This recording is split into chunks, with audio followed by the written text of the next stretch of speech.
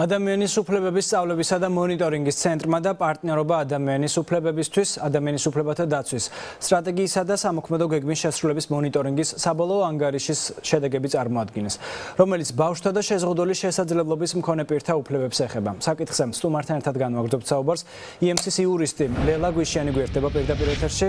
ლელა მოგესალმებით, მადლობა რომ მიიღებთ გადაცემაში მონაწილეობას.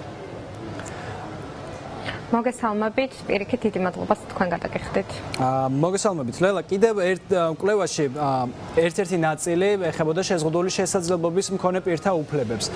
მოდით ზოგადად მიმოვიხილოთ რა ზია კლევაში საუბარი და რა ძირითადი პრობლემები გამოიკვეთა ამ მიმართულებით. დიახ, როგორც უკვე თქვენ აღნიშნეთ, ჩვენი ანგარიში ეხება 2016-2017 წლის სამთავრობო სამოქმედო გეგმის ძალიან მნიშვნელოვანი თავის შეზღუდული შესაძლებლობის მქონე პირთა უფლებრივი მდგომარეობის შეფასების მონიტორინგს. ჩვენი კვლევის განმავლობაში, რომელიც ერთი წლის მანძილზე გრძელდებოდა, ჩვენი მთავარი მიზანი იყო დაგვენახა 2016-2017 წლის სამთავრობო გეგმაში რამდენად სრულყოფილად იქნა ყველა ის ვალდებულება ასახული და გამოწვევები, რაც იმ რაც იმ პერიოდისთვის გეგმის შესრულების დროისთვის არსებობდა ქვეყანაში. გარდა ამისა, გვინდოდა დაგვენახა თავად გაწერილი ვალდებულებების შესრულების მდგომარეობა და ხარისხი და სწორედ ამის შემდგომ მოგვემზადებინა რეკომენდაციები რომლის რომელსაც დააყრდნობდა და იმედი გვაქვს რომ დააყრდნობ საქართველოს მთავრობა თავის მომავალ პოლიტიკას.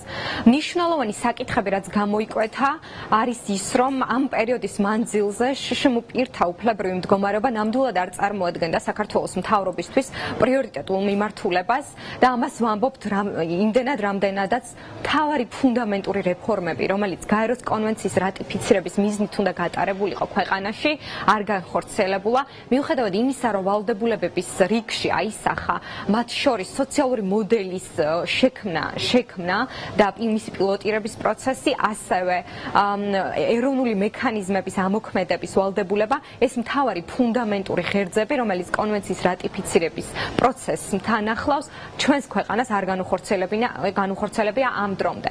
გარდა ამისა, თავად პრობლემა არის გეგმაში ასახული ვალდებულებების თვალსაზრისით, რიგი უფლებრივი კატეგორიები, მათ შორის სოციალური და დაცვა, მათ შორის საცხოვრისის საკითხები, დეინსტიტუციონალიზაციის პრობლემა, რომელიც განსაკუთრებულ და დიდ პრობლემას წარმოადგენს თემისთვის, ამ სამოქმედო გეგმაში არასახულა. თავის მხრივ შეგვიძლია ვთქვათ, რომ შესრულების მდგომარეობაც არ არის სახარბიელო, რამდენადაც გვაქვს სრულად შეუსრულებელი ვალდებულებებიც, რაც ავტომატურად გადავიდა, ნაწილი გადავიდა მათ შორის ახალ სამოქმედო გეგმაში და ჩვენი რეკომენდაციებიც ზუსტად ამ მიმართულებით იქნა გაცემული, რომ სახელმწიფომ დაინახოს მთავარი გამოწვევები და სისტემურად დაინახოს ეს გამოწვევები, რაც არსებობს ქვეყანაში შშმპირთა უფლებრივი მდგომარეობის გაუმჯობესების კუთხით. რაც შეეხება განათლებას დღეს პრესკონფერენციაზე ითქვა, რომ პრეზენტაციაზე, ანგარიშის პრეზენტაციისას, რომ ერთ-ერთ პრობლემად რჩება ასევე განათლების მიღების შეზღუდვა შეზღუდული შესაძლებლობის მქონე ბავშვებისთვის. გითხარით ამის მიზეზი რა არის? დიახ, სწორად ბრძანებთ ჩვენი დღევანდელი აქცენტები გაკეთდა მხოლოდ რამდენიმე თემაზე. ეს არის ინკლუზიური განათლება და ამ განათლებაში შიშიმ პირთა ჩაბმის, ასევე ხარისხენი განათლების მაჩვენებელი არის ძალიან დაბალი. პროფესიული განათლება ერთ-ერთი მთავარი პრობლემა, რომელიც პრინციპში არის გადამწყვეტი ფაქტორი იმისთვის, რომ შიშიმ პირები დასაქმდნენ ღია და ინკლუზიურ ბაზარზე სხვებთან თანასწორ პირობებში. ჩვენ აი ამ ამ კუთხით გავაკეთეთ აქცენტები დღეს პრეს ჩვენს კონფერენციაზე, რამდენადაც ხედავთ, რომ თავრობა ამ მიმართულებით გარკვეულ ნაბიჯებს ახორციელებს, თუმცა ეს ნაბიჯები იმდენად ფრაგმენტულია ხშირ შემთხვევაში, რომ რეალურ შედეგებს და რეალურ ცვლილებებს შშმ თემისთვის ვერ უზრუნველყოფს.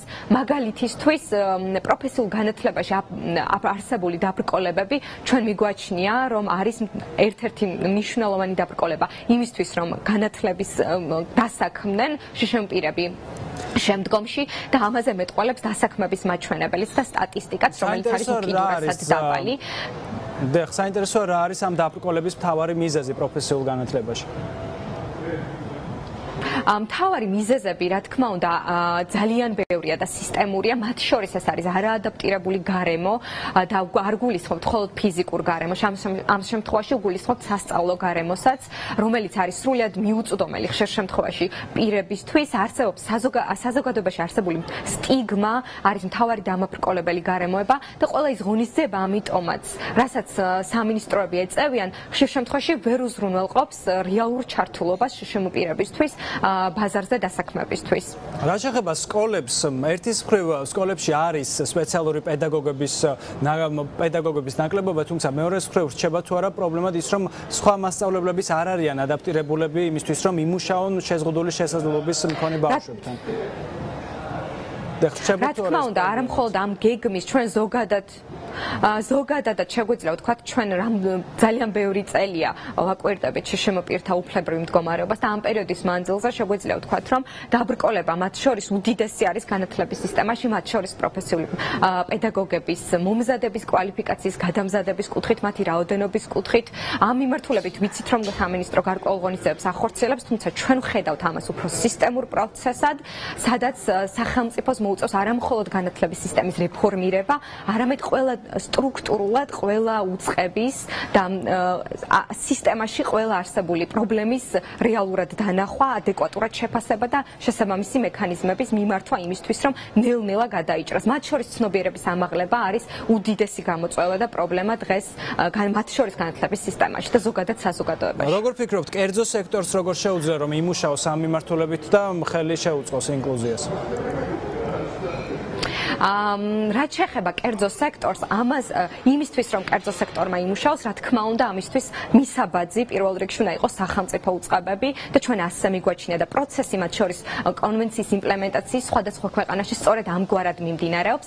მათ შორის დასაქმების სივრცე, დასაქმების უფლების რეალიზების დროს თუ ვთქვათ, საუბრობთ კერძო სექტორში შეშემოპირთა დასაქმების პრობლემაზე, აუცილებელი აღნიშნოთ სახელმწიფო უწყებებში შეშემოპირთა ნაკლებ წარმომადგენლობაზე და ჩვენი ხედავთ ვხედავთ, რომ მაგალითად 2016-17 წლებში კიდე უფრო გაუარეს და საჯარო სამსახურში და შემოპირთა დასაქმების მაჩვენებელი. ჩვენ ფიქრობთ, რომ ის მექანიზმები, რაც არის საერთაშორისო დონეზე აპრიორი ეს თქვა გამოყენებადი, ეს იქნება წამახალისებელი მექანიზმები, ეს იქნება კვოტირების სისტემა, ამ ამ მექანიზმების დანერგვა სახელმწიფომ უნდა დაიწყოს ჯერ თავად სახელმწიფო უწყებებში, შემდგომ რა თქმა უნდა კერძო სექტორშიც უნდა გავრცელდეს ეს მექანიზმები. გასაგებია, მადლობა გადაცემაში მონაწილეობისთვის, EMC-ის იურის სტილ ელაგვიშიანი პასუხობდა ჩვენს ხელს.